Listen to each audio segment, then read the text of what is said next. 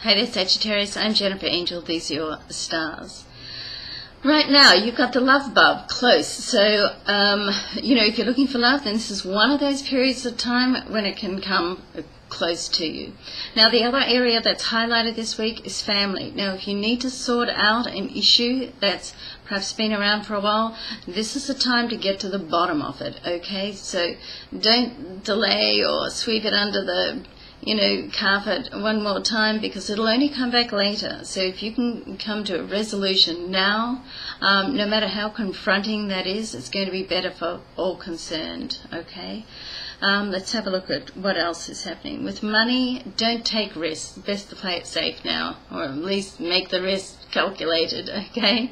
Have a great week, Sagittarius. I'm Jennifer Angel. We'll see you next week.